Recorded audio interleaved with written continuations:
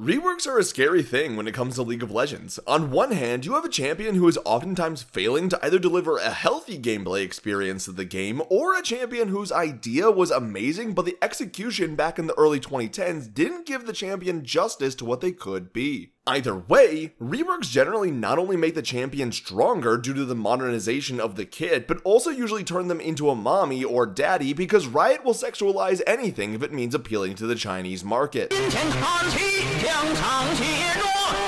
And when it comes to really old champions, Riot has a hard time because this champion has existed in their current form for so long that if they miss the mark, they've just deprived an entire player base of a champion that they used to love and risk losing all of them as potential customers. Skarner's rework was not only one of the most needed reworks in the entirety of League of Legends because let's be honest, his old kit was about as good as that one pair of earbuds that only worked when the cord was at certain angles, but it was also one of the most important reworks because we waited over two years since he won the poll to get the rework, and he was one of those champions like Aatrox where almost nothing from his old kit was going to be kept. So this new Skarner needed to be great because old Skarner was generally countered by a single item. He didn't have a reliable way to get to his priority target for his ult, and if he wasn't fighting near a pillar, then he basically didn't feel like a champion. And so many people were hyped for this rework because of how needed it was because so many things really needed to align well for old Skarner, and if they didn't, he'd be about as useful as a brand new winter coat when you live in the desert. But the new Skarner doesn't have that weakness.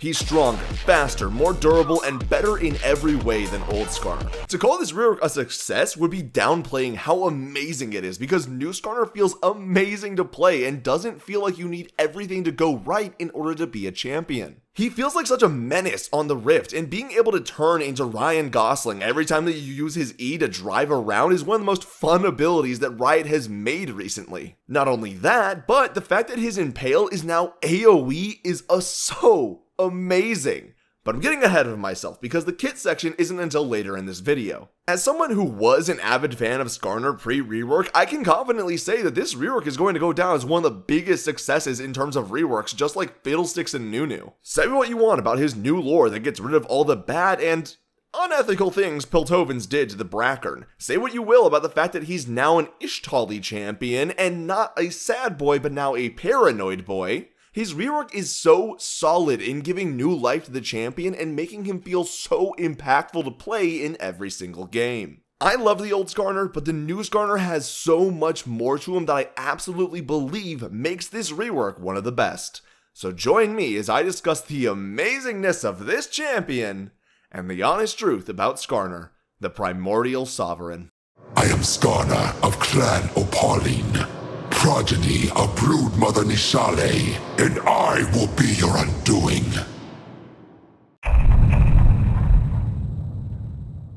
Skarner's lore has changed a lot from what it was, but he's still a Brackern. Born to the Brackern clan Opaline, Skarner was a progeny of Brood Mother N'Sale. Through his own curiosity and her tutelage, Skarner perfected the Brackern's innate ability to shape the earth, basically making the Bracker now into a more powerful version of the Badger moles from Avatar. Through this, he learned how to read vibrational patterns much like Toph, and could sense incoming settlers as they approached the Brackern's home. While the rest of his clan did not trust these outsiders, Skarner's curiosity got the better of him and he needed to know what made them tick. In Skarner's eyes, these people lived such short lives, there one second and then gone the next, but he was fascinated by how they used these short lives. However, he soon learned just how fragile humans are. One day, a rockslide threatened to end a small Ixtali settlement, but Skarner decided to intervene, and when the humans gazed upon him and began to revere his massive form, a protectiveness of these beings stirred within him.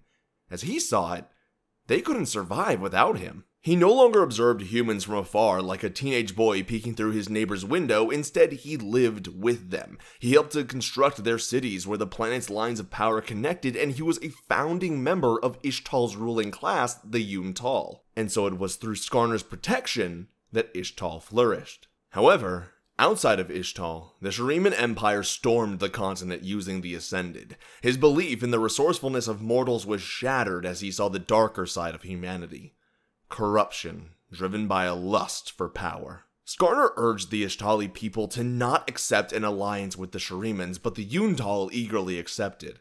After the Icathian rebellion, where the Void was released onto the world, Skarner felt vindicated in his beliefs, even if it came at the loss of many lives. At this point, Skarner felt nothing but disgust for the world outside the jungle, considering it to be a wasteland of pain and suffering.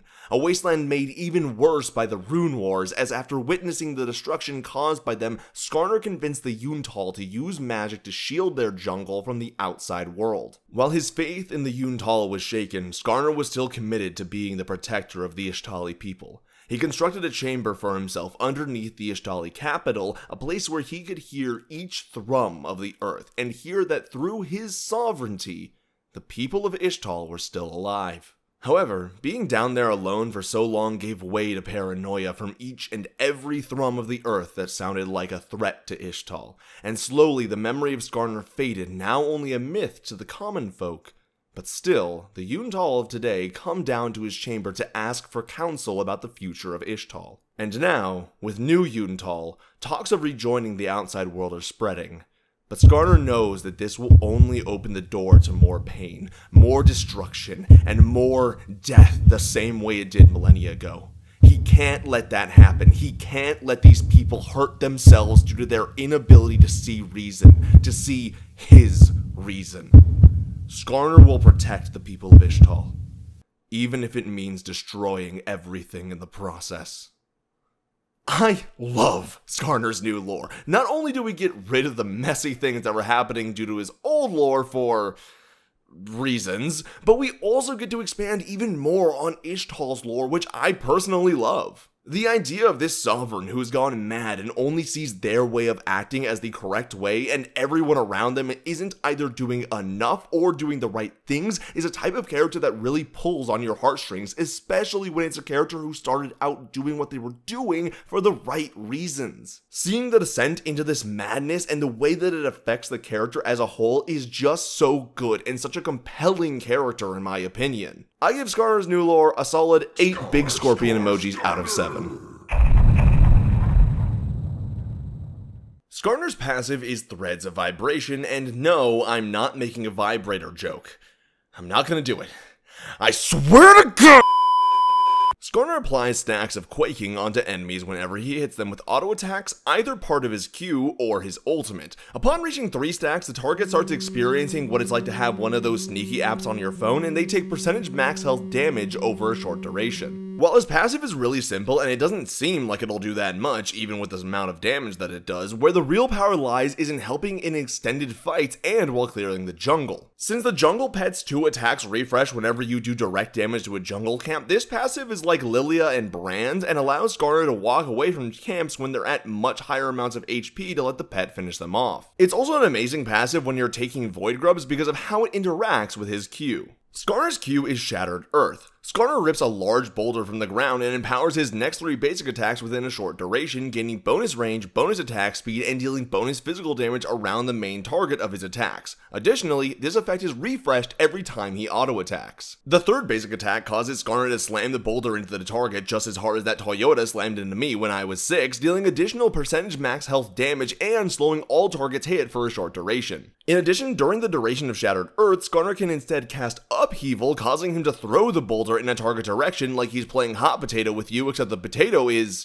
well, a giant piece of stone boulder, and he deals the same bonus damage and slows that normally would be applied if he slammed it onto you. Just like pre-rework, Q is Skarner's bread and butter ability when it comes to damage, but unlike pre-rework, you're not going to be developing arthritis in your ring finger because of how many times you need to press the Q key every second. Due to the AoE nature of the ability, you want to try and land the AoE on as many monsters in your camps as possible while clearing to apply your passive damage onto all of them. In addition, a big thing to understand is that this ability's cooldown starts when Skarner picks up the boulder, not when he throws it or slams it, meaning that holding onto it for a little bit while you travel between camps, prepare for a gank, or get ready to teamfight means that the next Q will be up sooner. This is especially good because outside of Q, Skarner's damage is kinda lackluster, so knowing how to maximize the amount of Qs you get is essential to doing damage as this champion, even while building full tank, because the damage does scale off of his bonus health. And that scaling is why as Skarner, I usually take Overgrowth and both HP scaling shards because as of the moment, it will always outscale the damage that you can get off of buying AD. Here's the math,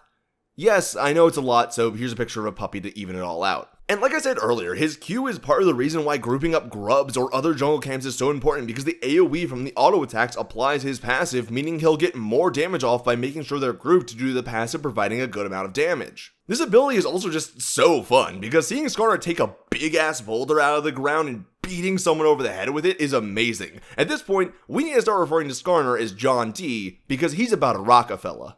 Skarner's W is Seismic Bastion. Skarner slams himself into the ground, shielding himself and making a shockwave that travels out from beneath him, damaging and slowing enemies that it comes into contact with. This ability is, in my opinion, basic but fine. It's basic because it's not anything new that we haven't seen. I mean, it's basically just Jarvan's W, but it also deals damage, but it's fine because it works well within Skarner's kit, granting him another AoE that you can use to damage multiple camps at the same time, slow down enemies from escaping due to its large radius, and combo with Shield Bash like I usually do to increase the potency of the ability. Also, at the time of writing this script, the ability is currently bugged where it doesn't apply its damage or slow at the tip of the ability in the direction of your cursor, so look out for that. But I know the reason that you're really here. You want to know about the ability that literally turns you into Ryan Gosling, who is, by the way, literally me. Like this picture here, this is literally me when I'm driving. Skarner's E is Ixtal's Impact. Skarner starts charging forward in a target direction, gaining slow immunity, becoming ghosted, and ignoring terrain for a short duration. During this charge, he gains rapidly increasing movement speed and is able to steer himself while moving. If he collides with any champion or large monster during his charge, Skarner latches onto them like they're the last PS5 during Black Friday shopping and carries them with him wherever he wants to go, gaining more movement speed when when latching onto them. During this time, if Skarner makes the enemy champion collide with a wall, he stuns the target and deals damage scaling off of his max health,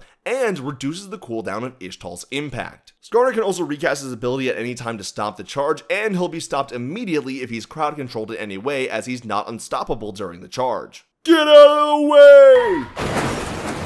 I'm fucking booze cruising!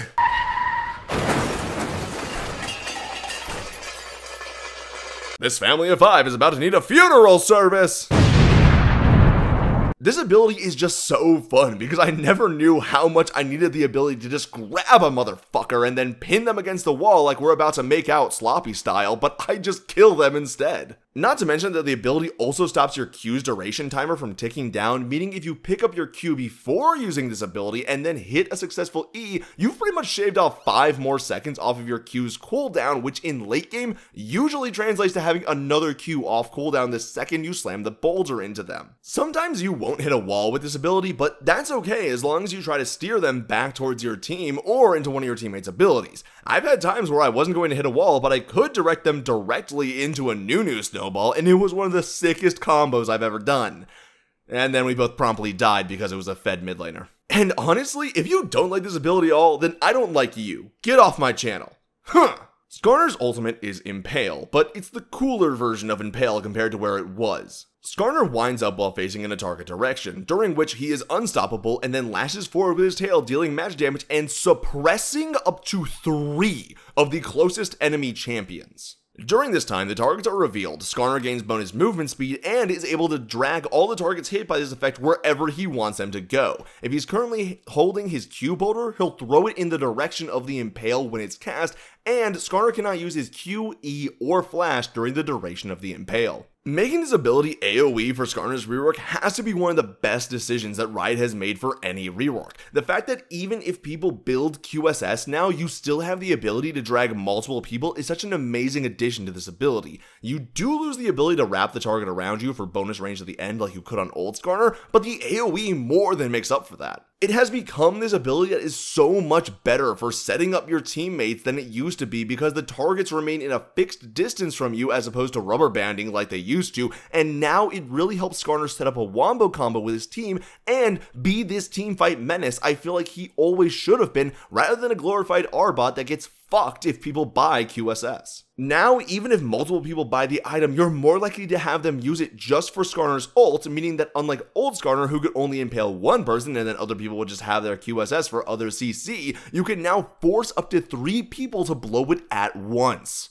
This ability is literally the be careful who you call ugly in high school meme because it's so much better in every way than it used to be. And this is part of why Skarner's rework is such a success in my eyes. Sure, they had to remake him from the ground up, but they kept something iconic to him and kept the Scorpion and Monster vibes around and turned them up to 11, in my opinion. His rework is so fun to play, and I'm sure after a few balance changes here and there, he'll be in a much better spot than he used to be, where he had one of the lowest player retention rates in the game. Sure, he may no longer be our sad purple crystal scorpion boy, but he's now our large paranoid stone scorpion boy. And by the way he's driving, you know I'll be chilling in the backseat to see where he's going. Thank you everybody so much for watching The Honest Truth About Skarner. My name has been Tarian, and if you like this video, go leave a comment down below telling me which champion you want to see me do an honest truth about next. And while you're down there, go hit that subscribe button to be updated whenever any of my new videos comes out, and I will see you all next time. Bye bye!